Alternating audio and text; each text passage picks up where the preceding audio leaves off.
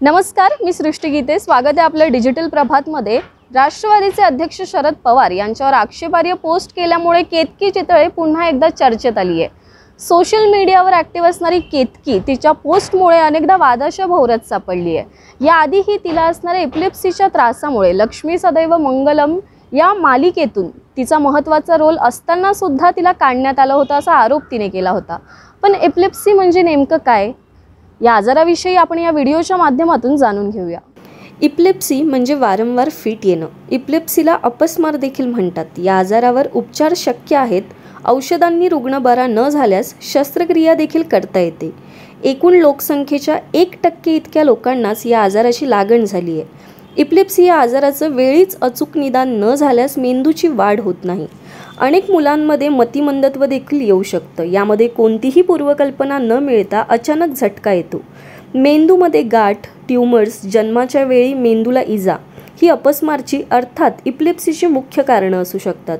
मानसिक ताणतणावामुळे अपूर्ण झोपेमुळे ताप सर्दी खोकला हे आजार झाल्यास रक्तदाब वाढल्यास रक्तातील साखरेची पातळी कमी झाल्यास स्त्रियांमध्ये मासिक पाळीच्या वेळी किंवा औषधांच्या दुष्परिणामामुळे डोक्याला मार लागल्यामुळे कडक उन्हाच्या त्रासामुळे इप्लिप्सीचा झटका येऊन बेशुद्ध पडण्याची संभावना वाढते.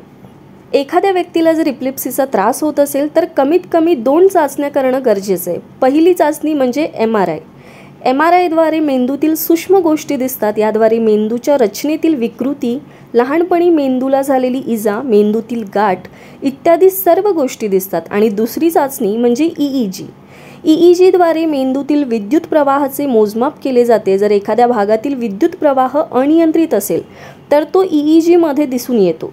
ज्या दिवशी ही चाचणी करायची आहे त्याच्या आधीच्या रात्री कमी झोपल्यास अनियंत्रित विद्युत प्रवाहाचं मोजमाप करण्याची क्षमता वाढते.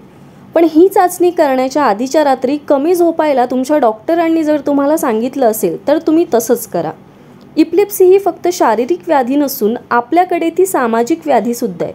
इप्लेप्सी असलेल्या मुलांना खेळात सामावून न घेता दूर ठेवलं जातं. त्यांच्यावर हसणं त्यांची टिंगल करणं आणि त्यामुळेच आधीच त्रास असलेली मुले मनाने निराश बनू शकतात आणि एकलकोंडी पडू शकतात. सातत्याने आकडी येणं हे या आजाराचं मुख्य लक्षण आहे. इप्लेप्सी या आजारावर नियंत्रण ठेवता येतं. इप्लेप्सी म्हणजे वेड लागणं नाही. तुमच्या आजूबाजूला जर इप्लेप्सीचा त्रास असणारा कोणी व्यक्ती असेल तर त्यांची काळजी घ्या. वेळीत त्यांना योग्य औषध उपचार करा. आणि सर्वात महत्त्वाचं म्हणजे घरगुती उपचार करण्यात बिलकुल वेळ वाया घालवू नका. वैद्यकीय उपचार हाच यावरील योग्य उपचार आहे. या संपूर्ण माहितीविषयी आणि या आजाराविषयी तुम्हाला जी माहिती मिळाली आहे ती तुम्हाला योग्य वाटल्यास ती इतरांपर्यंतही पोचवा. आणि या व्हिडिओला लाईक करायला विसरू नका.